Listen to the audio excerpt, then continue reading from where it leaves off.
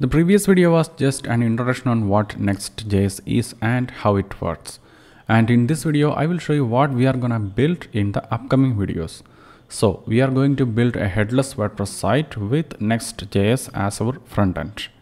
And this is how the final result looks like. Currently we are on the home page.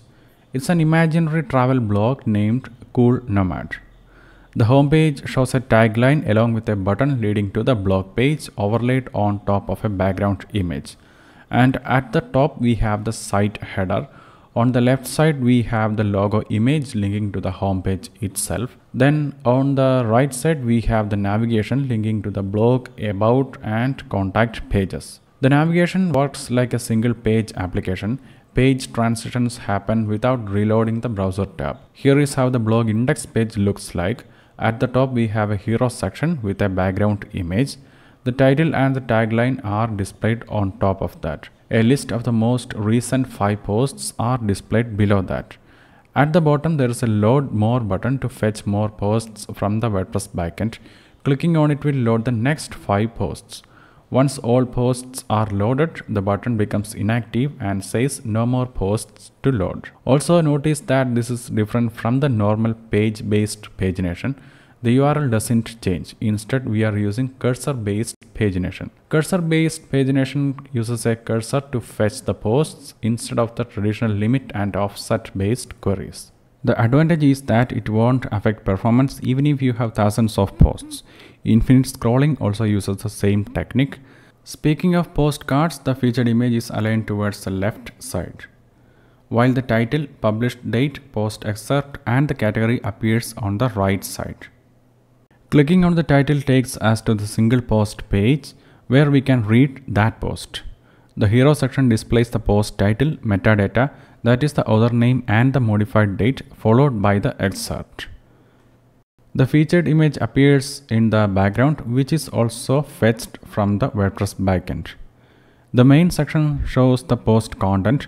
At the bottom we have a simple site footer as well showing the copyright notice. So that's all about the blog section. Then we have pages. For instance, the about page shows the title and the content of the page. Then comes the contact page. It displays an HTML form where users can enter their name, email and the message they want to send. For instance, let me try to submit it. Name Abhinav, email test at example.com and some test message. Click the submit button and you can see a reply saying the form submitted successfully. However, if we try to submit it without filling one of these fields, then we will get an error message. So we have some basic validation as well in place. As I have already said, we are using WordPress as our backend API. Let's take a look at that. The posts and pages data are being fetched from this backend, but we are not using the built-in WordPress REST API. Instead, I have enabled GraphQL using the WP GraphQL plugin. This plugin enables the GraphQL API in WordPress. Also, the plugin comes with a feature called Graph IQL IDE where we can compose GraphQL queries. In later videos, I will show you how you can use this interface to generate query strings. Just to give you an example, suppose I want to fetch a list of posts. For that, click here under the post section. Then select nodes. Suppose I want to fetch the date, excerpt and post title. Check those boxes. As I am checking those fields on the left side, you can see the equivalent query on the right side. Now click the Go button which runs the query internally.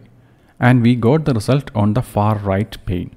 So this is the API we are going to use. Since it's headless, we won't be using the default WordPress frontend.